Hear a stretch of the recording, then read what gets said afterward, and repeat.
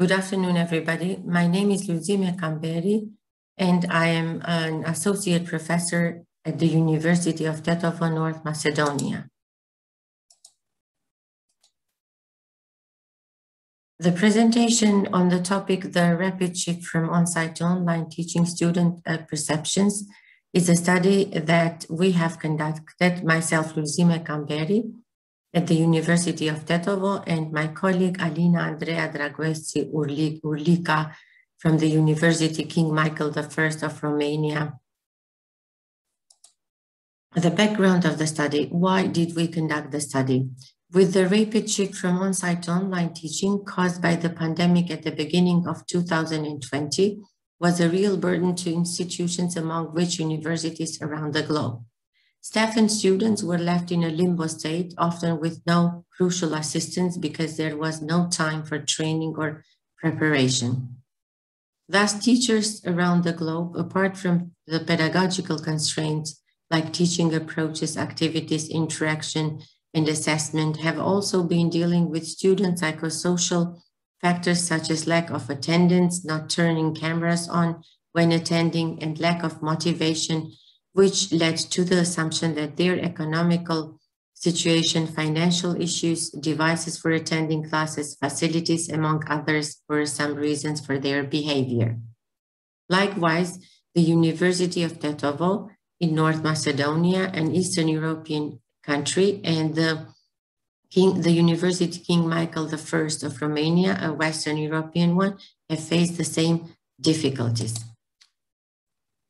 Now, the switch now we all of us are missing the classroom the traditional classroom which we have here and the, the new one attendance online attendance with our students. Even from the pictures we can see the differences. We can see the differences students in different positions but these students have at least their cameras on.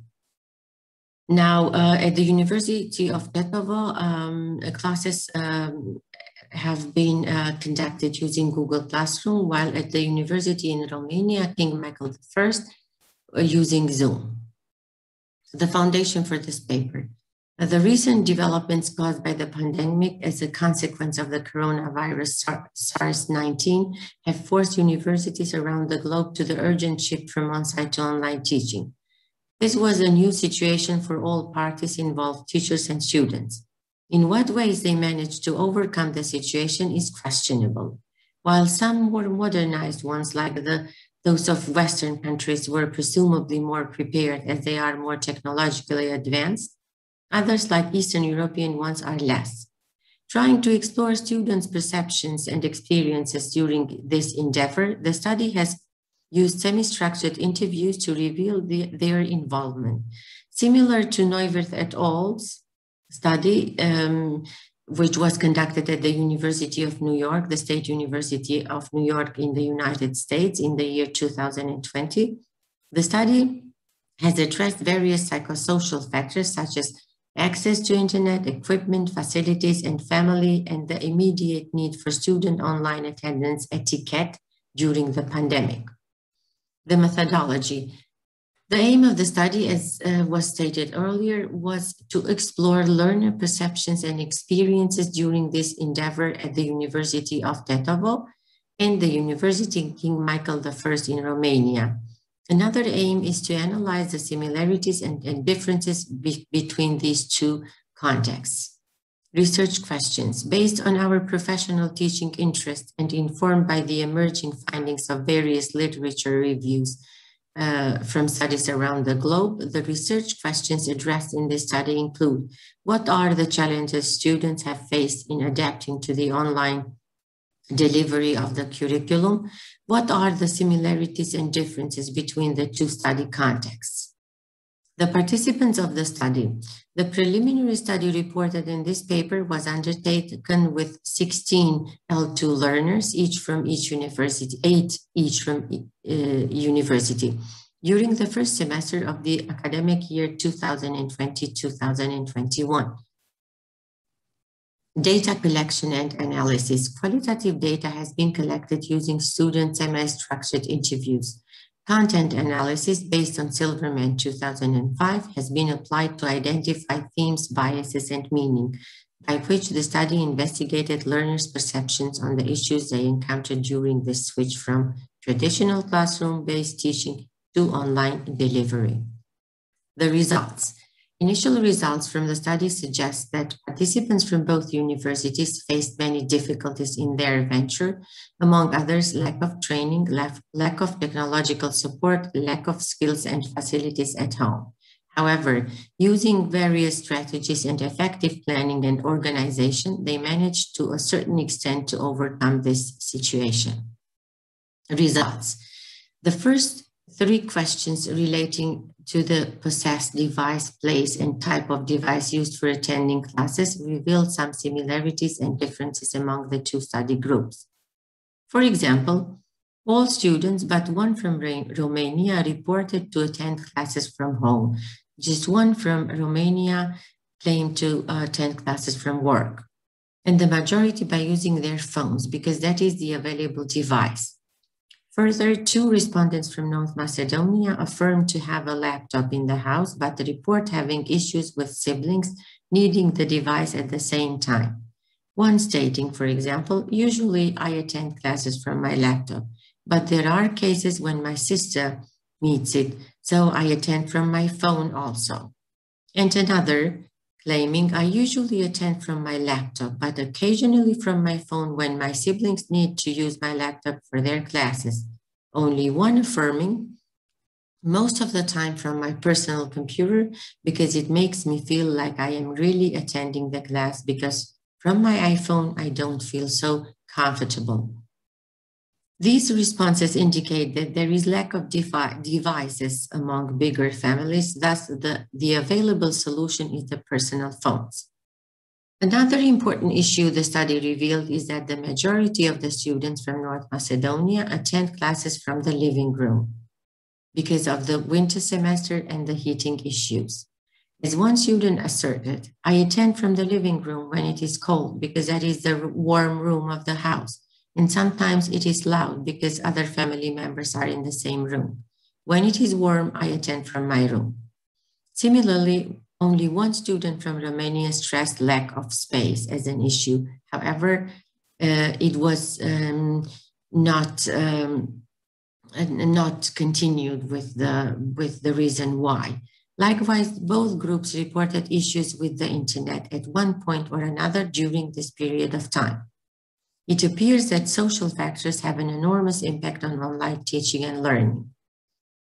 One of the most controversial questions appears to be one asking students whether uh, students and teachers should have their cameras on during classes. While all Romanian students prefer their teachers to have cameras open, and over 54% support the idea for students as well, their counterparts from North Macedonia seem to be divided. The majority of the respondents stated that it is the teacher's personal choice by justifying their claim with the students not having the cameras on. Only a few opting for cameras on. One student affirmed, I think teachers should have their cameras on during the classes because I myself sometimes feel like I'm, I'm in the classroom when I can see and hear the professor at the same time. It helps me to get concentrated on the lesson taught. Another continuing to support this idea stated, yes, I think because when I see the teacher on the cam with the camera on, I am more focused in the classes and in any way. And in any way, I can learn things much better. I don't know why, but in this way, I am more and more focused. And when I don't see teachers on the cameras, sometimes I don't take the classes very seriously.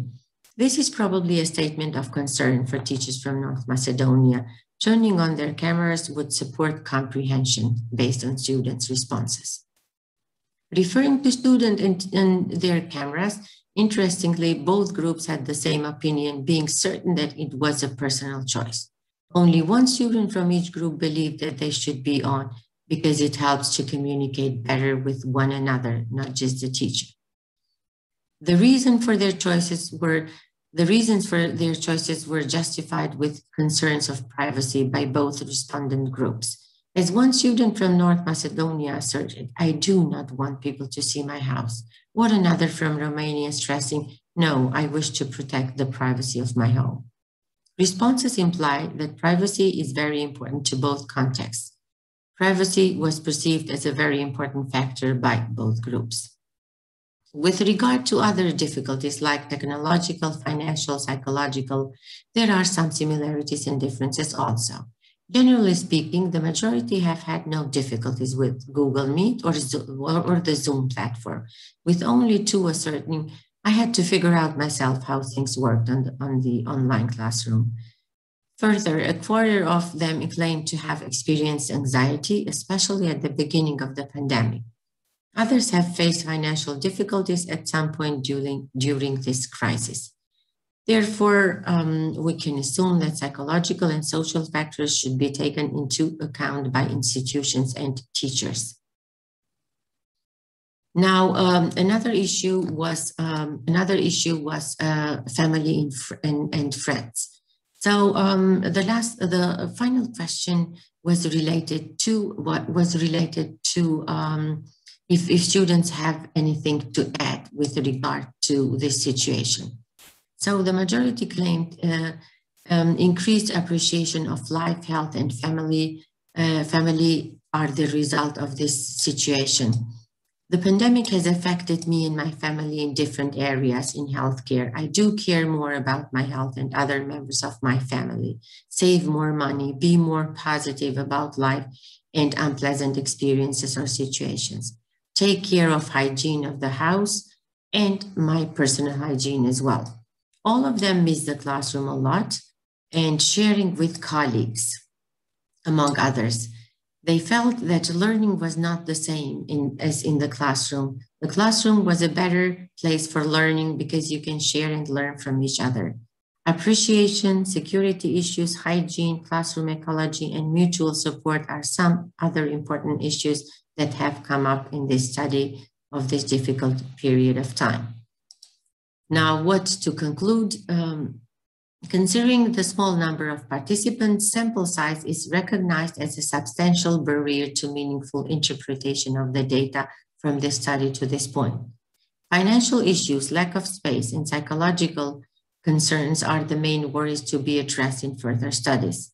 Neuwirth et al. study in, that was conducted at the University of New York called for an urgent online etiquette and this should be considered by all universities, by all institutions. Applying needs analysis with their students as suggested by Ellis and Barkhuizen in 2005 with the aim of identifying and responding to their students' needs and expectations should be uh, considered by, by teachers. Research designs conducted over an extended period of time with a larger sample including teachers, to confirm factors potentially affecting the outcome of online teaching. The aspects identified in this paper seem likely to shed light on future pedagogical concerns and approaches. Thank you for your attention. If you have any questions, concerns, or suggestions, please feel free to, um, to ask.